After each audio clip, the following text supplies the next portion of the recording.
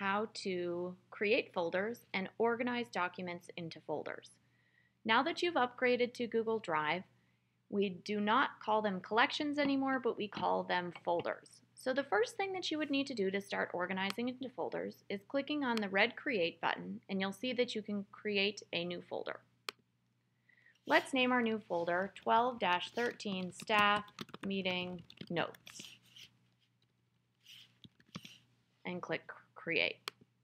Now you'll see that it's created underneath My Drive. There's this little black arrow that you can open and close to see your folders.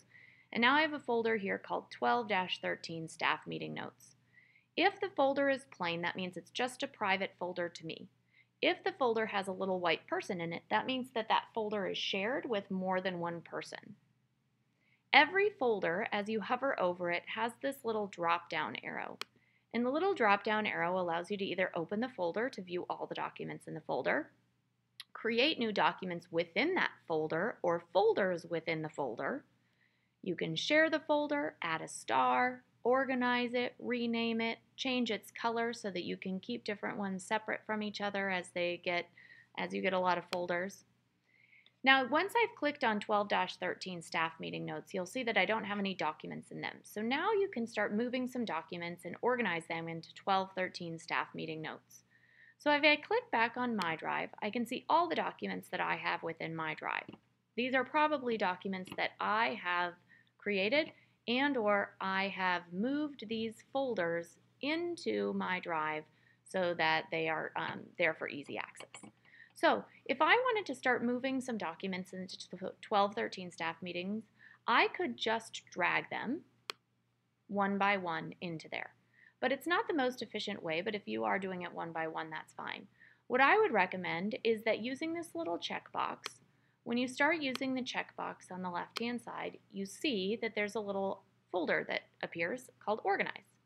And if I click on the Organize button, it asks me which folder would I like to put those documents in. So I click the 1213 staff meeting notes.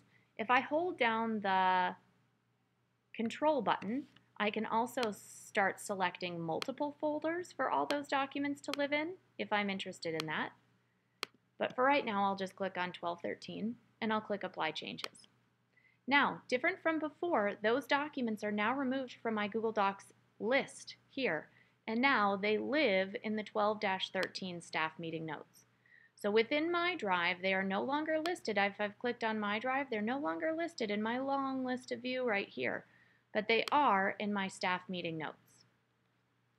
One of the things that you can do is when you click on my drive and you uh, the little arrow by it and you close it, and you go down to all items, you'll start seeing that these are all the items whether they are in folders or not in folders. So I'm going to sort them by last edited by me, which means that these are the ones that I've used the most recently up on the top. So now you can see all of my folders are in here, you can see all of my documents, and then you can also see in green or whatever color your folder is if the document is in a folder. So the all items is very helpful if you want to see if things are in folders or not in folders at this point. The best way again to find any document, or folder is by searching up in the search bar. So you can start creating lots of folders and organizing your documents into those folders. The last thing that I want to share, share with you is how you share a folder with other people. So if I was an administrator and I created a 12-13 staff meeting notes and I wanted all of my staff members to have access to this folder, just as if you were a teacher and you had students that you wanted access to that folder, I can click on the little down arrow by 1213 staff meeting notes and I can share this folder by clicking on share and I can enter the people's names that I would like to have access to this folder. It's exactly like when you are sharing a document. So I'll just share this one with Nathaniel. I can give him edit or view rights to the entire folder, so I'll let him edit. And you can add a little message.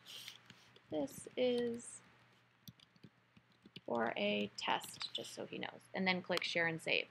So now you can see that my little folder here now has a little person on it, which means that it's a shared folder.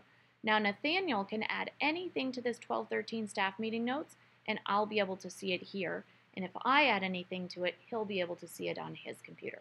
So it's a really nice way to start organizing and sharing and collaborating on um, different docs and organizing them into a folder.